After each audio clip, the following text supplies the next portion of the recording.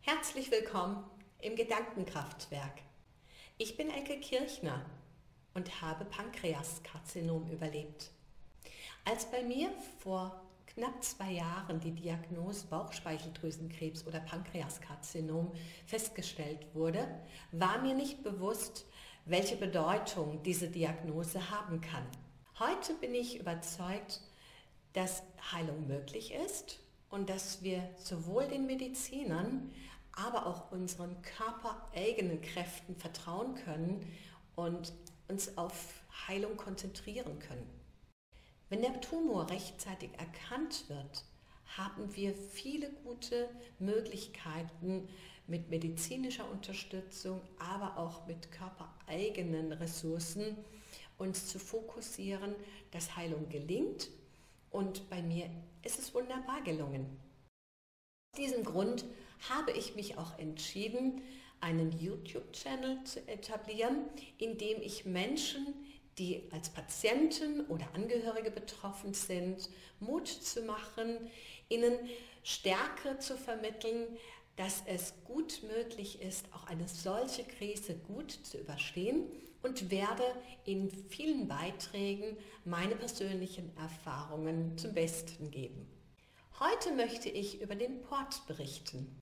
Der Port ist ein Katheter, der bei mir unterhalb des Schlüsselbeines implementiert wurde in einem kurzen chirurgischen Verfahren. Mit dem Port ist eine intravenöse Gabe von Medikamenten möglich, denn bei vielen Patienten sind durch den operativen Eingriff oder chemotherapeutische Prozesse die Venen sehr in Mitleidenschaft gezogen und damit hier eine Entlastung des Körpers erfolgt, dient der Port als gute Lösung.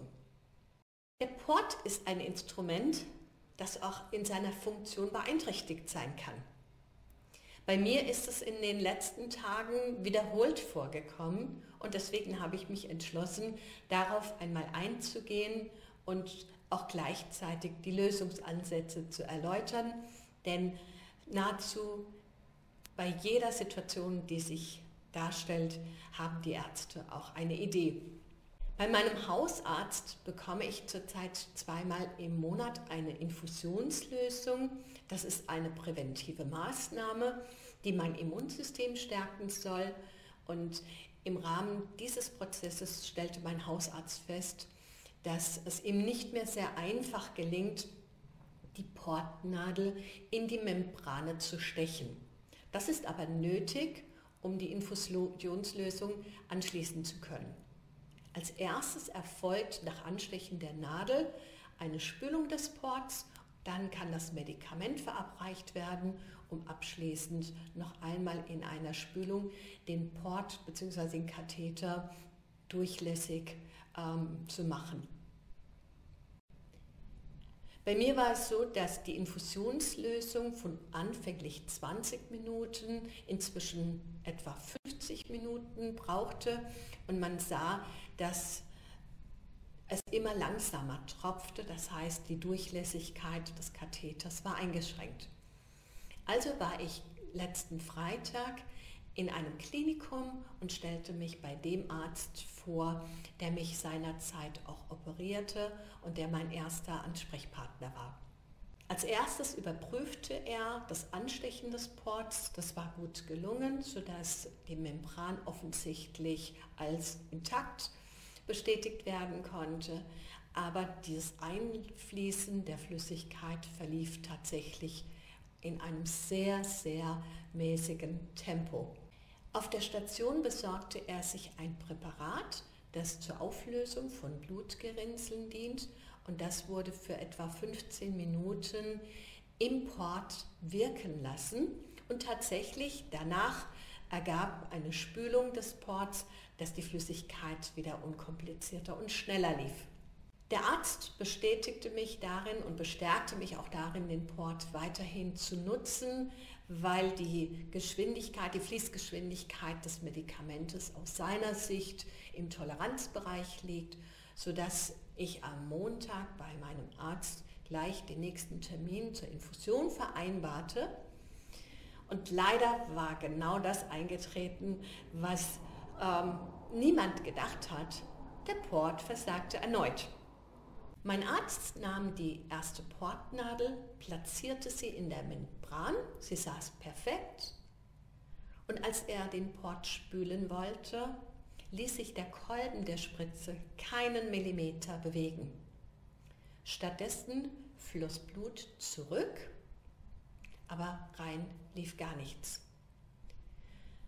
Er wiederholte das Spiel mit einer zweiten Portnadel und wir hatten dasselbe Ergebnis. Es floss Blut zurück, aber es ließ sich keine Spüllösung platzieren. Er bat mich kurzfristig im Klinikum einen Termin zu vereinbaren, damit der Port kurzfristig gespült werden könne und die Störung beseitigt werden kann. Denn Gerinnung von Blut im Katheter führt dazu, dass er unbrauchbar wird. Und das sollte unbedingt vermieden werden.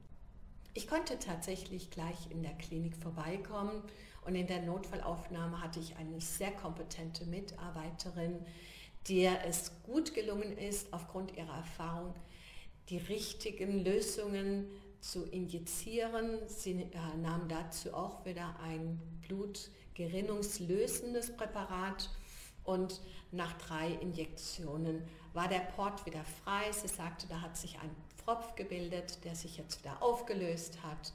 Es läuft. Das sind Dinge, mit denen man rechnen muss. Es zeigt aber auch, wenn wir den Menschen vertrauen, die uns medizinisch gut betreuen, dann entwickelt sich auch immer ein guter Ausgang und es geht dann wieder weiter. Der Port an sich ist unkompliziert im Alltag. Man braucht keine Bedenken zu haben. Manchmal spüre ich ihn, gerade wenn die Infusionslösung oder die Spülung erfolgt, merkt man so ein ganz leichtes Fließen. Aber das ist nur ein hauchzarter Temperaturunterschied im Körper entlang des Katheters. Aber das ist keinesfalls schmerzhaft und beeinträchtigt auch nicht das Wohlbefinden. Wer also einen Port empfohlen bekommt oder wem ein Port gelegt werden soll, der braucht sich nicht sehr viele Sorgen zu machen. Für die Ärzte ist es in der Regel ein Routineeingriff und für die Patienten eine deutliche Erleichterung bei der Nachsorge. Auch bei der chemotherapeutischen Betreuung ist der Port eine wunderbare Erfindung. Soweit bis heute. In meinem nächsten Beitrag werde ich weitere Stories erzählen, die mich manchmal im Nachgang amüsiert auf die Situation blicken lassen, aber natürlich in dem entscheidenden Moment oft etwas irritieren. Aber so ist das Leben. Wir können nicht alles planen, wir können aber darauf vertrauen, dass nicht alles im Leben gut gehen muss, wir aber immer im Nachgang den Sinn einer Situation erkennen können. Bis dahin alles Liebe, eure Elke Kirchner.